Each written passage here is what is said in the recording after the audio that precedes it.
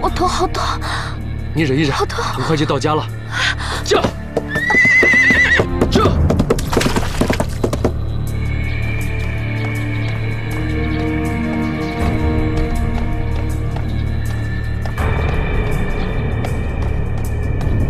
大少爷，大少爷。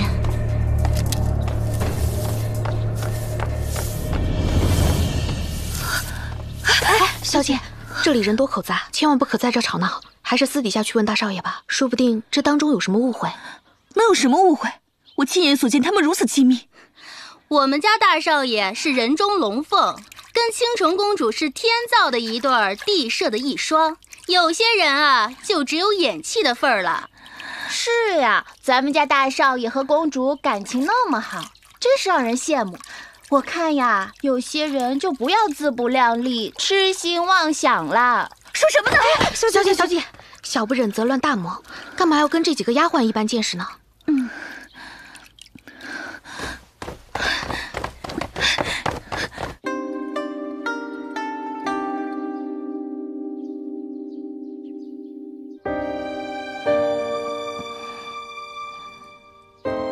黄玉衣，公主没有大碍吧？啊，回孙姑姑，公主突然头痛，只是用脑过度所致。臣这就为公主开一副安神镇痛的药，公主服下之后好好休息，症状就可缓解。有劳黄御医了。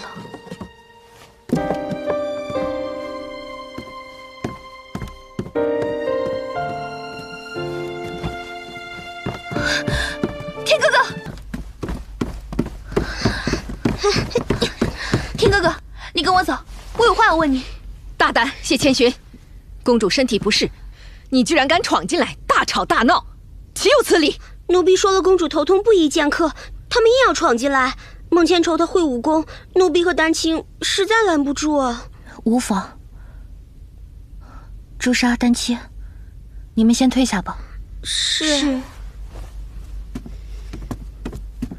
千寻，你这么着急闯进我的寝宫，可有要紧的事？我找你能有什么事儿？我是来找我家天哥哥的。千寻，不可对公主无礼。天哥哥，既然千寻找你，你就跟他回去吧，好好解释。那臣先告退了，公主好好休息，臣明天再来探望公主。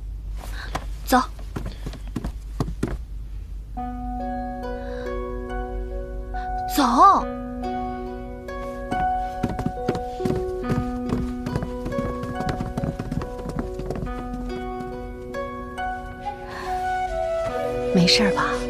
哎，你这傻丫头，你这是何苦呢？谢千寻她是什么身份？你可是堂堂的一个公主啊！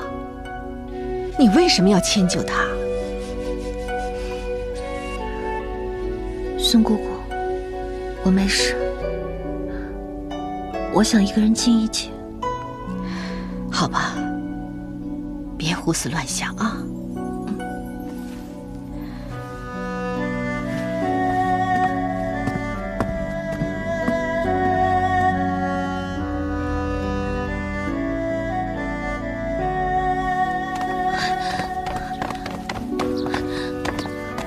满天，我问你，花满天和谢千寻之间的誓言还在吗？千寻，今天的事说来话长，你先别生气，先听我慢慢解释。你别告诉我，这只是一个误会。你抱着倾城公主进府，是我亲眼看到的。你们俩今天去哪儿了？你们两个什么时候关系变这么好啊？千寻，我带倾城公主去皇家围场，因为那是她最熟悉的地方。我想看看能不能唤起她的一些记忆。而我抱她进府，是因为他突然头痛。多此一举，那里根本就唤不起他的记忆。你为什么这么笃定呢？因为，她根本就不是倾城公主。皇家围场的记忆，只属于你跟我呀。我看，找记忆是假，你侬我侬才是真吧？哎呀，千寻，你别这么说。护送公主不利，害她掉下悬崖，差点送命，后来又失去记忆，都是我害的。我帮他找寻记忆，这是我欠他的。那我现在告诉你，你以这种方式给他找记忆，只是白费力气。照这样的方式，这一辈子倾城公主的记忆都不会找回来。千寻，你为什么要说的这么刻薄呢？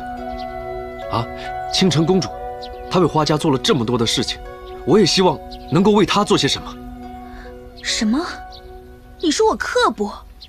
我告诉你，用这种方式给他找记忆没用。你说我刻薄？哼！天哥哥，我头疼。天哥哥，我头好疼啊！你就这么相信他头疼是真的？也许这就是他用来勾引你的苦肉计啊！千寻，倾城公主不是那种耍心机的人，她的宽容大度、谦和善良，是整个花府有目共睹的。你别这么说她。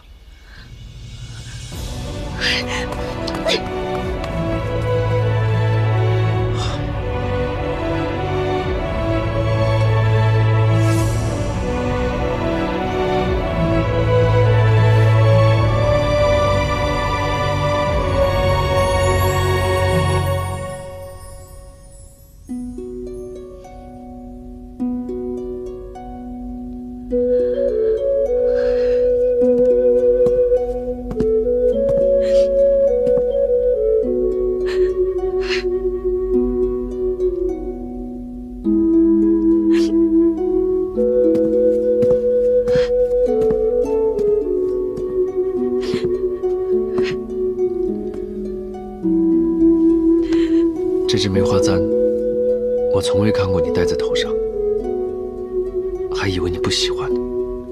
没想到你一直带在身边。这只梅花簪，我一直都视若珍宝，不舍得戴在头上。而你说过的每一句话，我也都视若珍宝，铭记在心。如今。我想问你一句：梅花簪有信，而你当时的誓言，可还作数？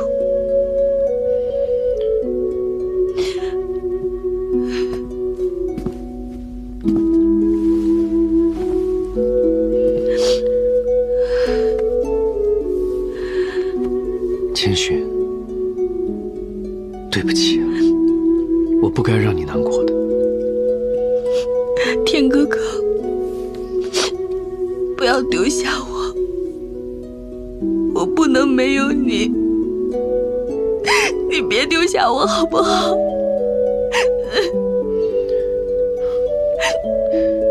你放心，我不会丢下你，我真的只是去帮公主找回记忆，这是我亏欠她。